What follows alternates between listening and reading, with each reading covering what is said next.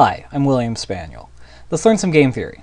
Today I want to begin discuss, discussing preferences for risk, and I thought the best way of doing that would be to do a short little quiz that will allow us to define these terms like risk aversity, risk neutrality, and risk acceptance before we move on to the next video in which we'll actually define uh, expected utility functions which will represent all of these sorts of preferences for risk. So we're going to do this by looking at a couple of different lotteries. Here's lottery one. In this, you win $0 half the time and you win a million dollars the other half of the time. And lottery two is just you win X number of dollars guaranteed. So this is a degenerate lottery where the outcome is that you win X dollars. Now, my question to you is for what value X are you indifferent between these two lotteries? So, in other words, if I was about to say, here, we're going to play lottery one, or I could just write you a check for some number of dollars, at what dollar value is that check going to be that would make you indifferent between taking that check and playing that first lottery. So if you're watching this on YouTube, what I want you to do is scroll down below this video where the comment section is, go ahead and write whatever that dollar value is and submit your comment. I'm very curious to see what you guys are going to answer. I suspect I'll see a bunch of a particular type of answer, but who knows, I could be wrong and I'd actually be very interested to see if I am wrong. So go ahead and do that now. And once you have done that, we can go on to see what your answer means about you and your preferences for risk.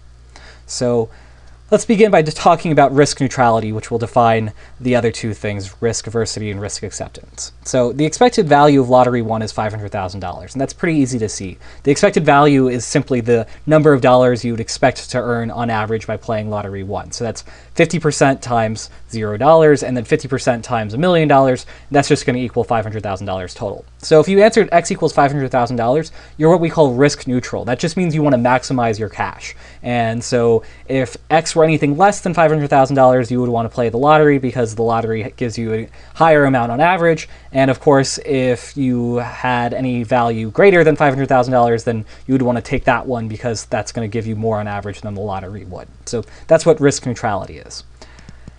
Now, if you answered X is less than $500,000, you're something we call risk averse. That means you value each additional dollar less than the last. So I personally answered here X equals $300,000. The idea here is that having $300,000 is just going to make me really happy. Having just $300,000 guaranteed will allow me to go buy a nice house, and uh, that will take me a lot further in life than getting zero dollars would. And while getting a million dollars would get me even further, that extra space further that it would get me, you know, I'd be able to buy a nicer house with that.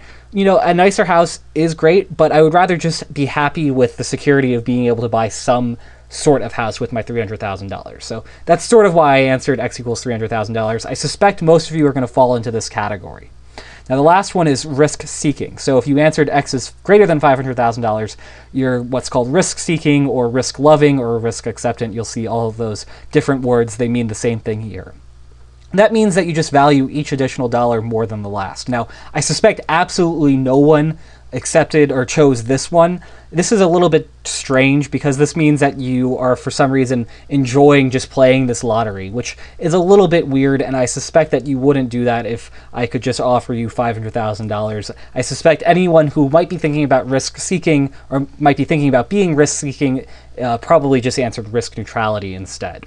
So I'm very curious about what your answers were, and I'll look through them. I'd be uh, very curious to see if anyone chose uh, a risk-seeking answer, and if that's the case, if they could explain why they chose that. I'd be also very interested to hear why.